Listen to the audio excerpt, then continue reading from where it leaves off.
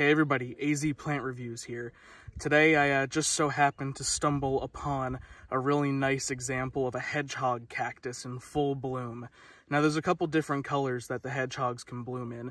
A lot of the ones you'll find in the store bloom orange, but that's actually a hybrid. The natural ones, for the most part in the Phoenix area, are going to be these ones that bloom pink just for a little while every year. Sometimes it's just a couple days. They make a fruit that's edible, but you know, most of the time they're just these nice little guys with very large looking spikes relative to the size of the rest of the plant. As you can see, they don't get very tall. This is like, I wouldn't call it a maximum size. It's definitely an adult. They can get a lot wider than this with more kind of columns rising up. But, you know, this is pretty much an exemplar one. Looks pretty picturesque, too, just kind of sitting on this rock like this. So, obviously, since they're Sonoran desert natives, they don't need much water. Once they're established, they'll be water independent.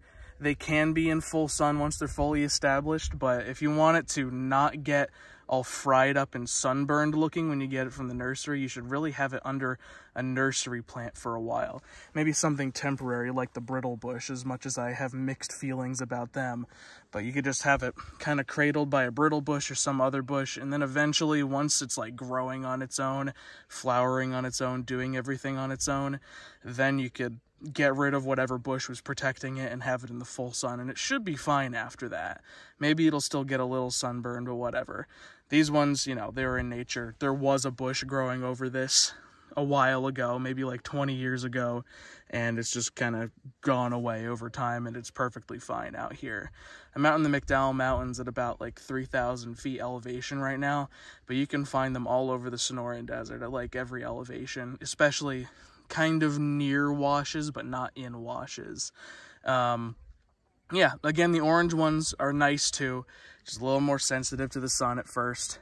Um, very cool plants. Don't want to touch them, but you don't really get too many splinters out of them. Low maintenance, awesome colors once a year during the spring. Um, I, I definitely recommend it. It's not my all-time favorite, but as a Sonoran Desert native plant with such cool looks and such beautiful flowers, I think I might be giving the hedgehog cactus a 9 out of 10. Definitely recommend getting one. Try it out. It's an awesome accent for your yard. Very pretty cactus. Definitely approve. Let me know what you want me to review next time. See you later. Bye-bye.